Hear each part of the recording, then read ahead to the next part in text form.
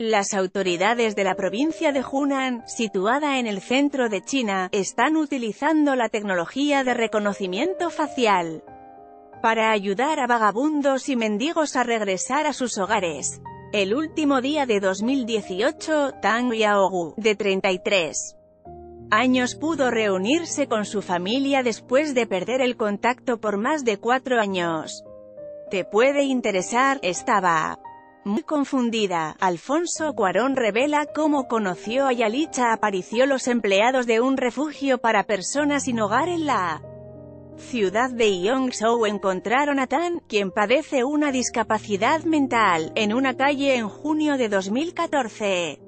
Él no sabía quién era ni de dónde provenía. El refugio publicó su foto y la información en periódicos y en la popular aplicación de noticias Topxiao.com, con la esperanza de encontrar a sus familiares. Sin embargo, sus esfuerzos fueron en vano.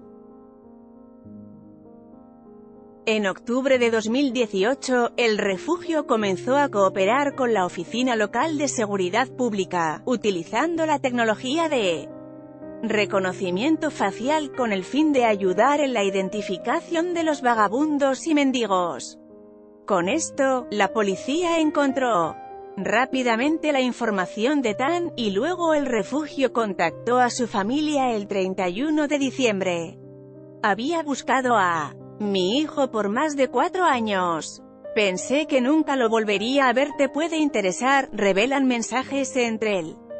Chapo, su amante y Emma Coronel Tan recordó que perdieron contacto con su hijo en una estación de autobús en la ciudad de Saoyan, aproximadamente un mes antes de que lo enviaron al refugio en 2014, el reconocimiento facial, los nuevos medios y los macrodatos son algunas de las últimas tecnologías que las autoridades chinas están usando para ayudar a quienes se han extraviado de sus hogares a regresar con los suyos. Gracias a la mencionada tecnología, el refugio donde estaba Tang ha ayudado a 35 personas a encontrar a sus familiares desde octubre pasado.